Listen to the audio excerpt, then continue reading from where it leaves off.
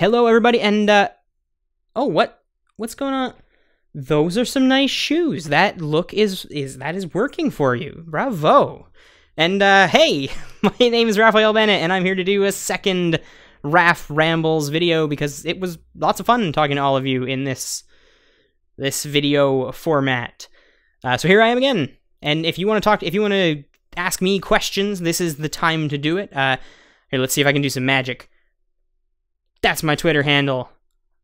I don't know if that worked. YouTube annotations can be weird sometimes.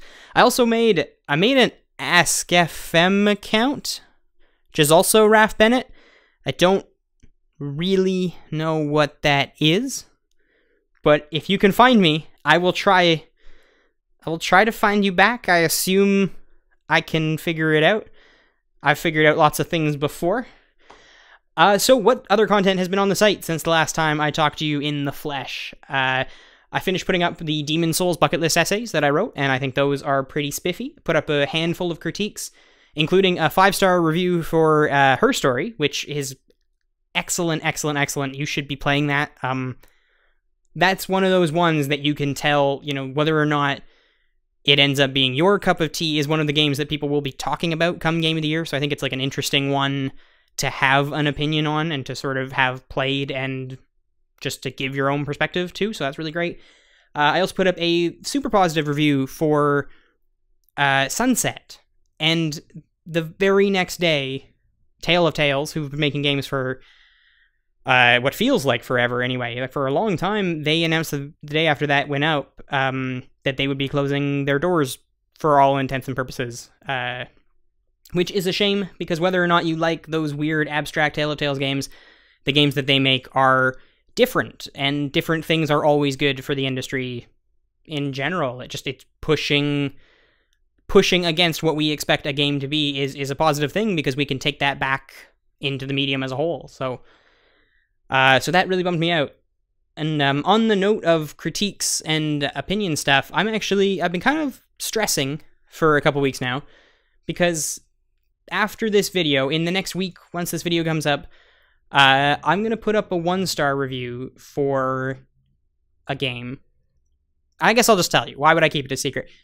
Uh, for Homesick, because I really Homesick was it's totally the worst game I've played this year, and I didn't like it at all.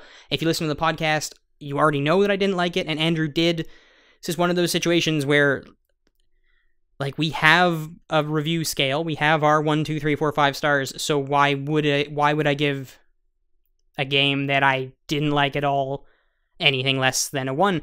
But it's still it's still stressful and it still makes me feel really bad. And the first time I exported the video, I exported it without the review score at all because I was like, I just don't want to be that mean. And um and then I did it again with it for posterity's sake because if we're gonna do it, we're gonna commit to it, we're gonna speak from the heart, and if I didn't like a game, I'm not going to beat around the bush and pretend that I didn't. Uh, so that is that.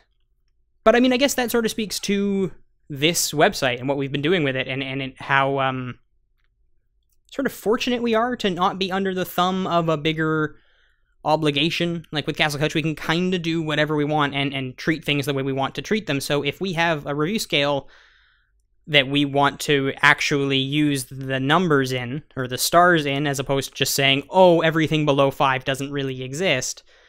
uh, we can. We can give things one stars, and that's the point of that's the point of our canon page. That's the point of our index. That's the point of having these numbers. Uh, it still stresses me out. But on that same note, it also means that we can have Anna doing weird and wacky things like the Asura's Wrath video because we don't have we are not beholden to a format or a structure. We don't have a shtick. Uh, maybe one day we will. Maybe in order to sus- like to remain sustainable in any sense, we will eventually have to like sort of buckle down and have a more regimented schedule.